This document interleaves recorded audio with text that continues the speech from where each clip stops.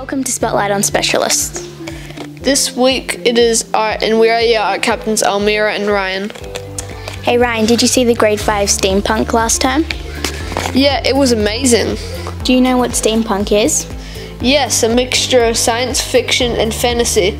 Steam is steam powered mechanics, and punk is against the norm. Grade 5 had a great time making the steampunk money boxes using lots of mechanical parts in their work. I'm really looking forward to seeing our portraits being hung up in the grade 6 area. Yes, they were great fun to make and everyone's looks fantastic. Preps had a great time painting poppies last week. Even some preps tested the paint out on each other.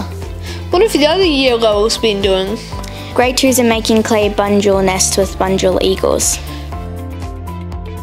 Grade 3 learnt about the artist Jackson Pollock and had a great time flinging paint around. Grade 4 learned about how to make a stop motion videos, and Grade 1 did some great paintings inspired by local artist Rosie Weiss.